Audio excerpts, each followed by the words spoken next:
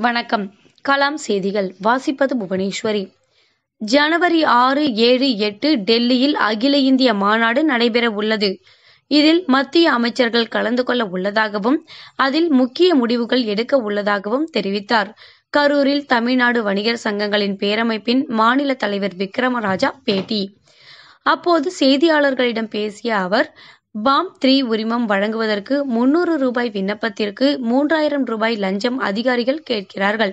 இது போன்ற அதிகாரிகள் மீது நடவடிக்கை எடுக்க கோரி சம்பந்தப்பட்ட அமைச்சரிடம் புகார் அளிக்க உள்ளதாக கூறினார். பிளிப்கார்ட் அமேசான் சட்ட விரோதமாக விற்பனை செய்கிறார்கள். எண்பத்தி ஏழாயிரம் கடைகள் ஆன்லைன் வர்த்தகத்தால் மூடப்பட்டுள்ளன. இதனால் முப்பத்தி ஐந்து சதவீதம் விற்பனை குறைந்துள்ளது.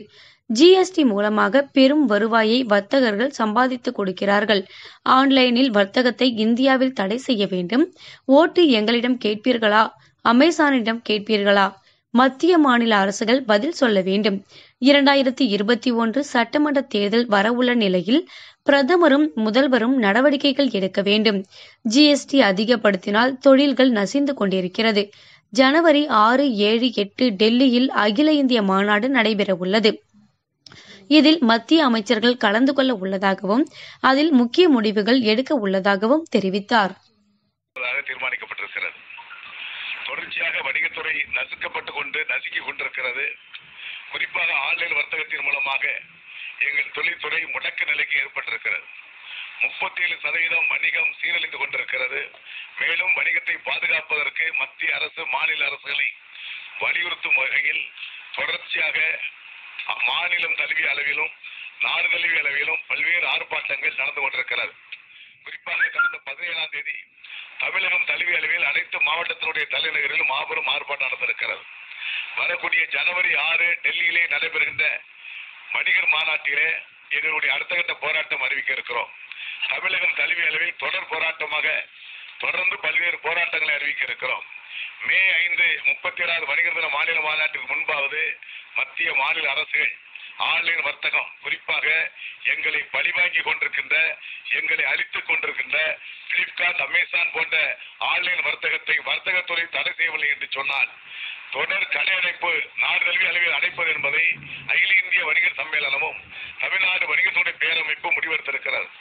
இதுக்கு அனைத்து ஒருங்கிணைப்பு அமைப்புகளும் ஆதரவு தர இருக்கிறார்கள்.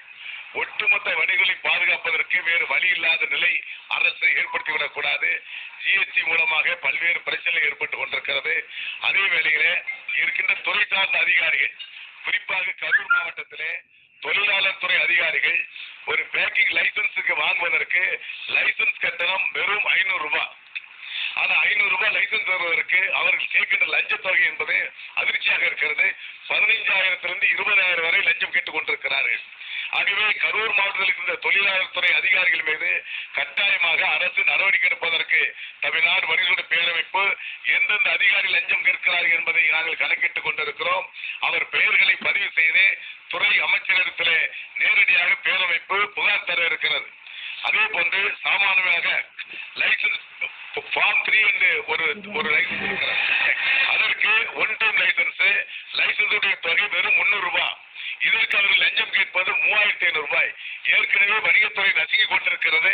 இதற்கு மேலும் எங்களை நசுக்கக்கூடிய வகையிலும் துறை சார்ந்த அதிகாரிகள் தவறான அதிகாரிகள் லஞ்சம் லாபமியத்தை விடவில்லை என்று சொன்னால் அவர்களை எதிர்த்தும் நாங்கள் போராடுவதற்கு பேரமைப்பு தயாராக இருக்கிறது ரிட்டன் ரைட்டிங் மூலமாக எழுதி தவறு செய்த அதிகாரிகள் மீது புகார் கொடுப்பதற்கு பேரமைப்பு புள்ளி விவரத்தை எடுத்துக் கொண்டிருக்கிறது என்பதை எச்சரிக்கையோடு தெரிவித்துக் கொள்கிறோம்.